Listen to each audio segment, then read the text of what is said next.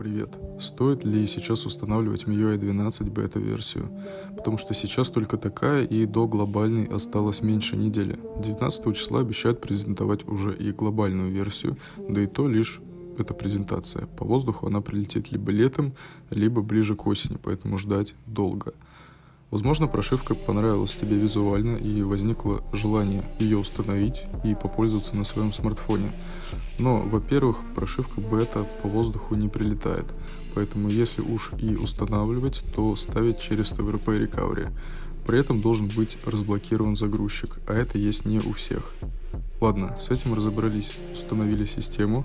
Кстати, инструкция по установке появится сейчас в подсказке, также ссылка в описании. Первое, что нас встречает, это система, похожая на iOS. Даже на презентации они говорили то, что равнялись на iOS.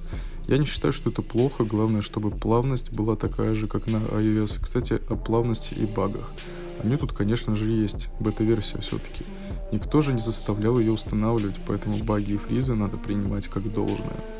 Я бы не советовал сейчас устанавливать MIUI 12, даже если очень хочется. Почему? Первое. Нету русского языка. Из более понятного это всего лишь английский. Я знаю, что есть версия MIUI 12 от Xiaomi EU, это такие мододелы. Вот, только не на все смартфоны пока что они делают свои прошивки. Например, на мой Redmi Note 8 Pro нету еще Xiaomi EU на 12 MIUI с русским языком.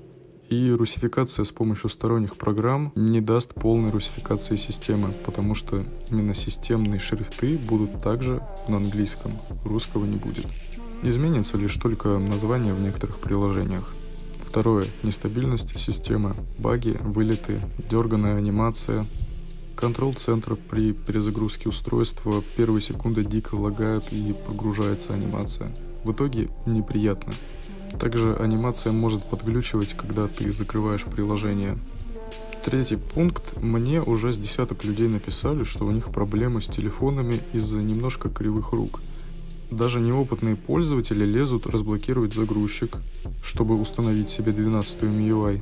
Нажимают что-то там в TVRP Recovery, не зная, что они делают. А потом в основном пишут мне в ВК в личные сообщения, жалуются, что у них телефон превратился в кирпич, либо вечно перезагружается. Дурость же, зачем это? Действия же опасные, зачем это вообще начинать делать? В каждом же видео вас, скорее всего, предупреждают, что если не знаете, как и что, то лучше вообще не делать. Еще один момент, человек захотел обратно на MIUI. Как сделать откат, он не знает лезет в рекавери, прошивает архив с 11 MIUI на 9 андроиде. Если так сделать на Redmi Note 8 Pro, то кирпич гарантирован. Восстановление только через сервисный аккаунт. В итоге, если есть опыт, нету страха, есть деньги на мастера, который в случае чего восстановит кирпич, то, пожалуйста, можете установить MIUI 12 на пару дней, понять что и как, а потом вернуться обратно потому что, еще раз повторю, это бета-версия. Для тестеров, для разработчиков, для мододелов, для блогеров, которые снимают и показывают вам эту прошивку, чтобы вы сами не мучились с установкой и могли просто посмотреть обзор на ютубе.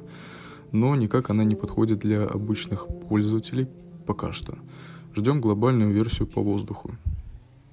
Оболочка достаточно интересная, есть потенциал. Красивые с виду анимации и элементы системы. Баги исправят, система будет работать быстрее и стабильнее. Но нужно ждать.